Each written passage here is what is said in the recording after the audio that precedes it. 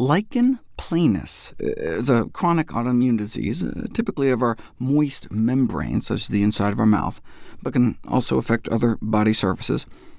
And it's not that rare, around 1%, uh, making it uh, one of the commoner conditions seen in oral medicine clinics. Current treatments are not curative, but rather palliative, aimed at relieving pain. We've tried steroids, antibiotics, chemotherapy, surgery, and none appear to be particularly effective. So even for palliative pain relief, we don't have great options. So that's why case reports like this are so exciting. Here's the before, and here's the after one month, then two, three, six, seven months later. After uh, drinking two ounces of aloe vera juice a day and applying aloe topically as well.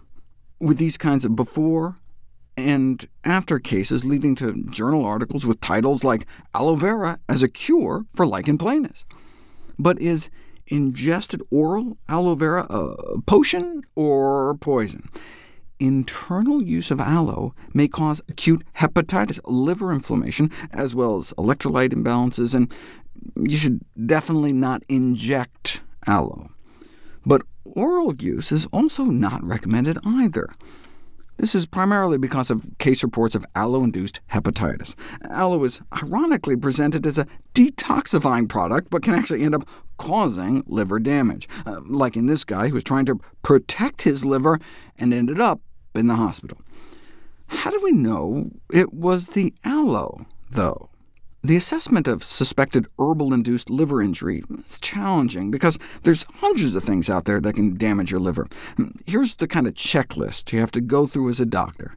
Uh, to rule out other causes before you blame it on the plant. Uh, do you have some kind of viral hepatitis or other kind of liver infection, or could be various drugs or toxins or diseases, so maybe it was one of these other things. It was just a coincidence that the problem started after drinking aloe the gold standard in terms of trying to prove cause and effect is a positive re-exposure test. Um, that's how you diagnose drug-induced liver injury. Uh, liver inflammation disappears when you remove the drug, and then reappears when you add the drug back, um, which is rarely done for obvious reasons. Well, has there ever been a re-challenge case published for aloe? Yes aloe-induced toxic hepatitis that shot up again after stopping and then restarting aloe ingestion. Aloe consumption has also been linked to thyroid dysfunction. A woman with lichen planus started swallowing two teaspoons of aloe vera juice a day. Uh, she started feeling unjustifiably tired. Um, lab work showed her thyroid function was low, but she perked right back up after stopping the aloe, and her thyroid function returned to normal. What if instead of Swallowing, though, she just swished the aloe around her mouth to try to help the lichen planus, and then spit it out. We didn't know until it was put to the test. A randomized, double-blind, placebo-controlled trial, 54 patients randomized to a topical aloe vera gel or placebo gel for eight weeks.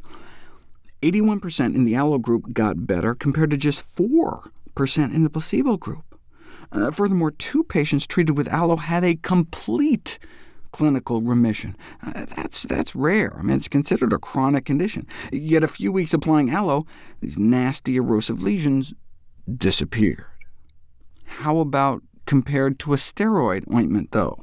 Uh, topical aloe vera gel was superior, more effective than the steroids, a significant difference appearing within two weeks. So although corticosteroids are still considered the gold standard, aloe vera uh, shows promising results, especially uh, with no adverse effects when applied topically, compared to various adverse side effects of the corticosteroids.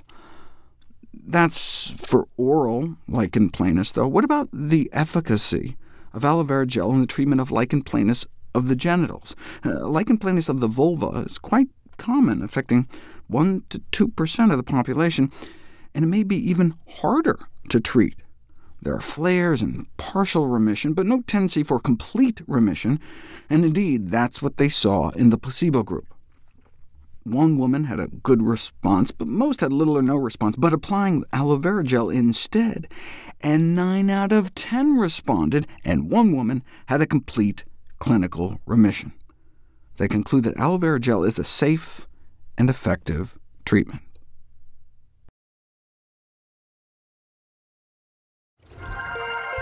Bye.